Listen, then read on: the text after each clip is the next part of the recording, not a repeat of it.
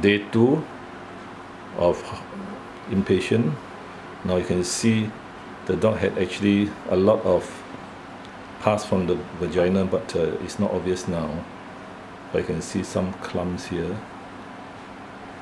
But uh, the diagnosis was closed pyometra and there was milk inside the the milk you can see the milk. So normally this happens uh, the milk appears hold the leg first appears about four weeks to six weeks after the heat. So there is false pregnancy as well as pyometra but yesterday there was no pus so the diagnosis was closed pyometra now we check the the gums uh, we open up the, the eyelids. Eyelids the complaint was three days not eating and drink uh, vomiting okay we just check the eyelids slowly. Now see whether any uh, anemia or not. Open up a bit yeah. Today it looks redder because I've given drips. We'll check the gums and see. Gums are a bit pinker now after the one bottle IV drips. And it's definitely the B12 given it definitely much pinker now uh. See the other side was there a swelling? On the right right face there's a swelling. So we check and see whether the carnassial tooth is uh, uh, just open up a bit. Open some more.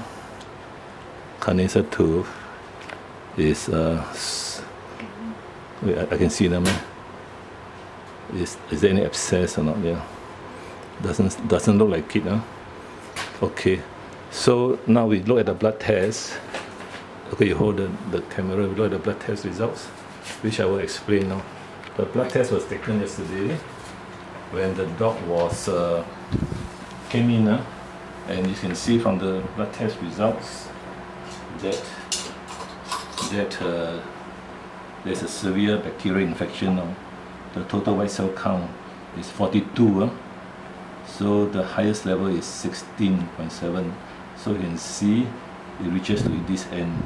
So this shows a leukocytosis. It, means a lot of uh, production of white blood cells uh, to fight the bacteria. And then the other one is the neutrophils. The neutrophils is another type of white blood cells. They are produced a lot when, when there is an infection and you can see it is 33. 33 is definitely higher than 12, the upper range. So these two shows that the dog has neutrophilia, leukocytosis, which means there's a bacterial infection of the blood, a severe one. Now, as far as you can see, the, the even the lymphocytes has increased for, uh, to to about uh, 5.9. It's a bit high, uh, 5.9, and uh, the maximum should be 5.1. Okay, that's lymphocytes, which is an, another white blood cell to, to fight the bacteria. Now the interesting thing is the monocytes. The monocytes has increased uh, to 3.06 when normally the highest is 1.12. Now the increase in monocytes shows that this dog has an infection for some time, a chronic infection, and so the monocytes has increased in numbers. Now, so in conclusion, white blood cell abnormal distribution, which is a increase in white blood cells, and this is the white blood cells, and the band neutrophils, which is also for bacteria, fight against bacteria, also also abnormal, and these two are reflected in the figures here. The total white cell count, do you zoom in, is uh, definitely high, 42 and the neutrophil is 33 okay? So this is the bacteremia and now we look at the platelets. Platelets there is a abnormal platelets in the sense that they are aggregated. Normally platelets they don't clump together if there's no problem no no no medical problem. So the platelet is clumped but it's still within the normal range so it's from 0.14 to 0.46 so the platelets is still not high or not low. It's, it's within the normal range. Now we look at the kidney. Now the kidney, I can show that the kidney, the creatinine is an important one. It's low, it's low 40 when it should be 44 the lowest, uh, 44 and the urea is also low 1.4 instead of 2.5 okay, so there is some ki kidney abnormalities disorder of the kidney due to this infection pyometra infection of the womb. Now the liver enzymes are okay. They are they're within the normal range the ALT AST and ALKP so you can see that within the normal range. So yesterday it came in there was no discharge. So so we look at the history yesterday 14 uh, came in at 6 p.m now there was uh, no no discharge but the complaint was not eating and vomiting for three days uh, three days. And there was some difficulty in breathing but not very serious. So it's this, these three signs and symptoms. Then I did the abdominal palpation I felt the abdomen and there was no pain no pain and no swelling. So I, I, I would say that uh, there was no abdominal pain and no vaginal discharge. But the history is that it's on heat one month ago. Now a dog not, not sterilized on heat one month ago and showing signs of false pregnancy. False pregnancy occurs about four to six weeks after the heat. So this shows that the dog was really on heat. Now the owner says he cannot find any vaginal discharge yesterday and I, I couldn't find any yesterday when I when I checked here there was no no discharge huh? no discharge but uh, after giving the drip IV drip and antibiotics as you can see there, there's some sticky discharge here which uh, might, not, might not be obvious on the white paper but you can see there the discharge is here sticky one which has come out uh, from the uterus, the womb. So the diagnosis is open pyometra. The treatment is to remove the the uterus. Uh. So we are awaiting the owner's uh, permission to, to do it. If, uh, if not, then what happens is the dog will be most likely recovered from the bacterial infection with antibiotics uh, or it may die, or she may die, all depends on whether whether she can recover from the infection. So in some cases, they do recover without surgery. But then, then the whole thing, whole cycle repeats again. You can see the stickiness here. The, the pus starts to form again at the next heat.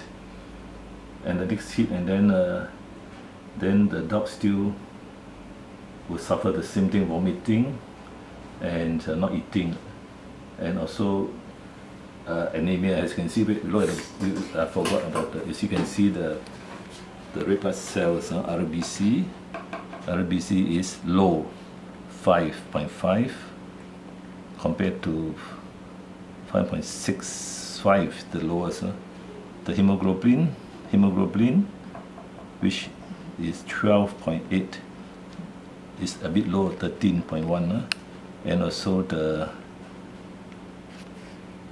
hematocrit, which is an indicator of dehydration, is 34, which is low. That means the dog was dehydrated as well.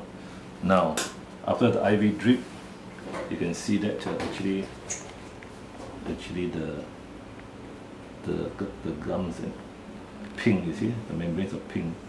So the anemia is not so so severe, and there is no dehydration. Capillary refill time less than one second. Now, the swelling on the right face, this could be due to the dog rubbing the ear. You can see this is an unusual case where the whole ear canal, uh, the opening of the vertical canal is filled with tumors, I call it now, ear tumors. And so it's obstructed the whole vertical canal. It might have spread down. It spread down, and then the dog is very, very, feeling very itchy, and so he's rubbing himself. Huh? So there's a swelling here. They can see a swelling. So owner told me the swelling here. So the problem is there are two two medical problems. One is the infection of the ears due to the obstruction of the ear canal. As you can see, there's no air. it cannot flow out the, the, the whole thing is obstructed the vertical canal so any discharge cannot come out unless you remove all these uh, all these tumors? They, they will need to be a vertical ear canal ablation remove the whole thing. Now the other part this is a nine year old female not sterilized dog. The other part you can see so according to the owner it appears only recently uh, less than one year and keep on growing. Now you can see this is a very rare condition. I, have not seen many of these uh, and this one appears on the opening of the vertical canal. So it blocks the whole whole, whole opening and there's pus actually you can see the pus so you can see the pus on there the yellow pus so this part is not so swollen. You can see uh, it's not so swollen. So this one this one is probably what the owner say is true less than six months. But this part you can see the swelling. You know compare you compare the left and right. You see this part is swollen. You see? It looks directly. So in conclusion the dog would be feeling painful here on the right side. But for this dog the more life-threatening problem is the infection of the uterus huh?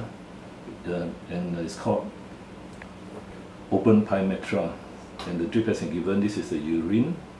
And uh, we still continue the drip the dextrosaline and we did give glucose and uh, Hartmann will continue and I give B12 B12 vitamin B12 so uh, antibiotics and probably an anti-fever. We will wait for the owner to come and decide whether she wants surgery or not okay to finish it